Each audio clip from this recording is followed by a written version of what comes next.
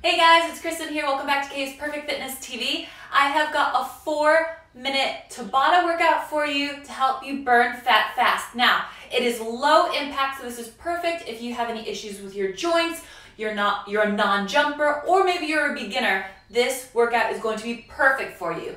I set my Gymboss timer to 20 seconds on, 10 seconds rest, and it will be four minutes long. So if you feel good, you repeat this up to four to five rounds. So you might have a nice full half an hour workout if you feel good. If you want a little bit more and you want me to be with you through the whole workout, join me on Patreon. I have lots of fab full-length workouts that you can do exclusive to Patreon. So let's get cracking, pause the video, do a quick warm-up, and let's get ready to go.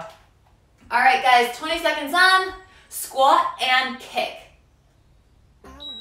So we're gonna take a deep squat, kick the right foot forward, squat, kick the left foot forward. Nice deep squat, kick, squat, kick. Now notice I'm leaning back a little bit as I kick. That's gonna help me squeeze into those glutes. Keep the chest lifted, belly and embrace. Good, rest. We come down to the floor. We're gonna set it up into a high plank position. We're gonna do head, shoulders, knees, and toes. You just tap it out. Head, head, shoulders, shoulders, knees, knees, toes, toes. You just keep going. Head, head, shoulder, shoulder, knee, knee, toe, toe. Head, head, shoulder, shoulder. Good, rest. You have 10 seconds to rest. You come back up and set it up for your squat and kick again. Here we go. Squat, kick, squat, kick, down, up. Now you don't have to drop as low as I am, but if you can, go for it.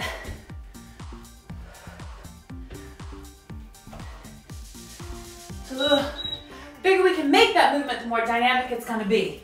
Now come down to the floor, head, shoulders, knees, and toes. If you didn't finish that first set, finish. You can start off in the middle.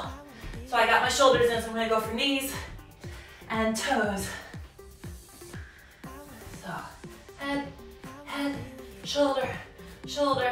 Keeping those hips level if you can. Toe, toe. Head, head, shoulder, shoulder. Good, rest. All right, guys, halfway done. Two new exercises. So you're gonna come up, alternating curtsies with a reach to the floor, into the ceiling. So curtsy reach, up, curtsy reach, up, down, up, down, up. You can slow it down, you can speed it up, you can add a little, a little light leap if you prefer, but keep it soft. Good, rest, come down to the floor. Now we're going to do a little crunch here on your sit bones. Feet up, reach out, bend the elbows, come up, reach out, and up. Now notice my knees are coming from one side to the other to help me get into those obliques a little bit more. Out and up, out and up. This also sort of activates those triceps a little bit. Good, rest. Come back up. We repeat, alternating curtsies, and then the crunches. Get ready to go?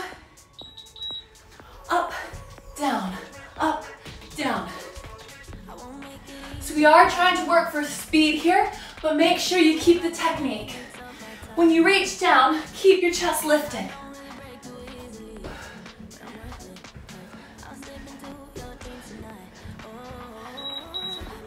Good, let's bring it down.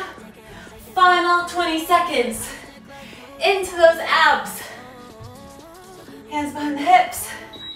And let's go for it. Reaching out, up, out, up.